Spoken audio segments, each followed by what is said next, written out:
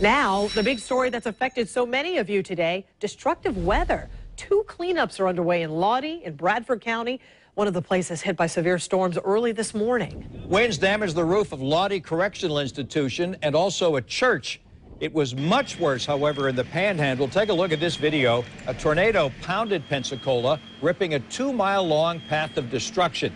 This apartment complex bore the brunt of it the upper floor homes demolished. We also got this video from southeasternsky.com. This bird's eye view gives you an idea of just how bad the damage is throughout the city.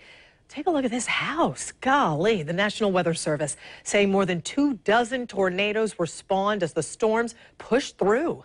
News 4 Jax has complete coverage from Bradford County to the Panhandle. We begin with Channel 4's Jim Piggott in Pensacola. Now, this is the Moorings apartment. This is where most of the damage occurred here in Pensacola. Take a look at this. You can see this building is just destroyed. The roof has gone off. People's clothes still hanging in the closets, but they got out of here. Most people weren't injured. Three people were slightly injured and taken to the hospital. People are grateful for that. But I can look, and show you around here. You can see the other damage that occurred. These businesses across the street. This is just a mess, demolished here. They're going through this. They're cleaning up today, trying to take care of things.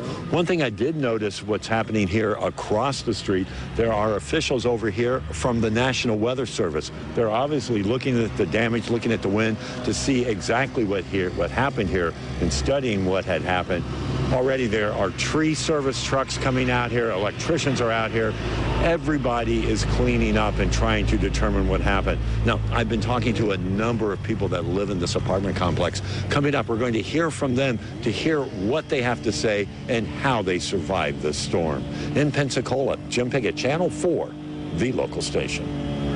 Now, the weather wasn't nearly as severe in Bradford County. No one was injured, but there was storm damage to the Lawtey Correctional Institution as well as a church nearby. That's where we find Channel 4's Heather Lee. Heather, what's the National Weather Service saying? Well, you can feel it's pretty windy out here. It just started picking up, but he's been out here. He was assessing the damage, and it's just preliminary, but he believes that this was called a rear flank downdraft. So I'm going to give an example using this rock here. Basically, when you're skimming a rock across a pond, it hits the surface and then it bounces a few times. And that's basically what happened in this situation. And uh, it was upper level winds when it came in contact with the thunderstorm. And this church is where it bounced down at one point. You can see that there's a debris field out here. They've actually started cleaning it up so it looks a little more organized. It wasn't like that earlier. And then this is the roof part. Uh, it's about 20% of the roof was ripped off.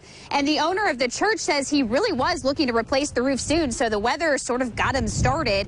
Now, this is what the correctional facility looked like. Very similar, roof torn off and left on the ground nearby. No one was injured, which is good news. The National Weather Service spoke with us about the type of wind that caused this. Actually, they're not as uncommon as people think. A lot of the downburst winds that occur with thunderstorms are these events, and uh, it's especially true when we have very, very strong jet streams moving through the area. That's why we had a tornado watch because of the strong jet streams.